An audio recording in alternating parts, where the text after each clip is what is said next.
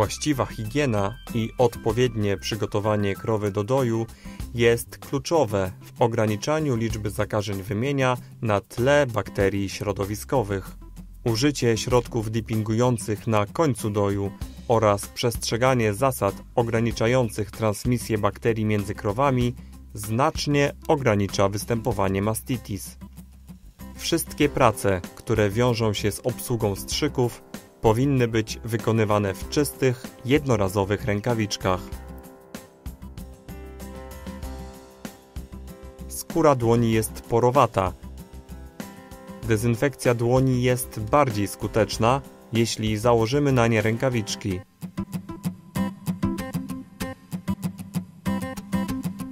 Zawsze należy wykonać dezynfekcję strzyków przed dojem. W zależności od zastosowanej substancji czynnej, do zabicia bakterii wymagane jest od 30 do 60 sekund od momentu jej nałożenia.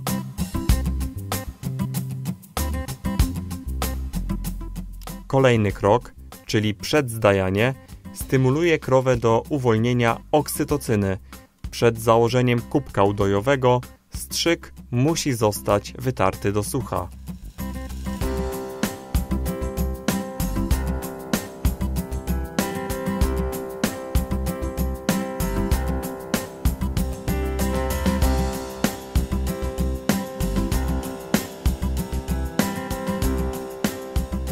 Każdy strzyk po każdym udoju musi zostać zdezynfekowany.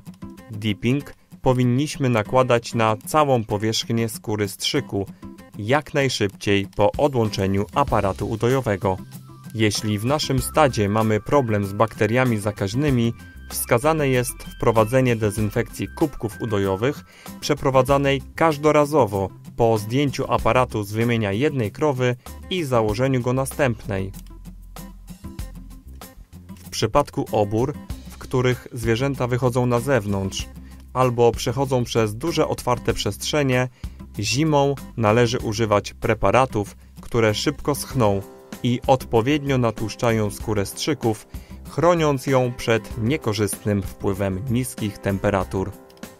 Dostępnych jest wiele różnych predipów, niektóre płynne, inne w formie piany. Przedzdajanie można wykonać po nałożeniu piany, kiedy strzyk jest wilgotny i śliski.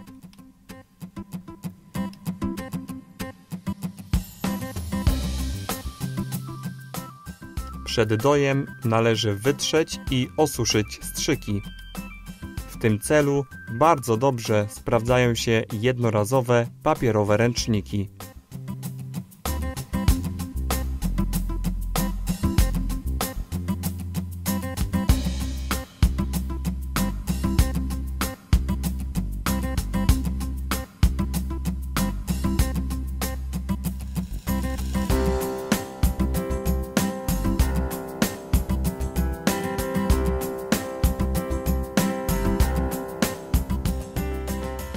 Zanurzenie strzyków w preparacie dippingowym redukuje liczbę bakterii, które przedostały się na jego powierzchnię podczas doju, a także poprawia kondycję skóry strzyków.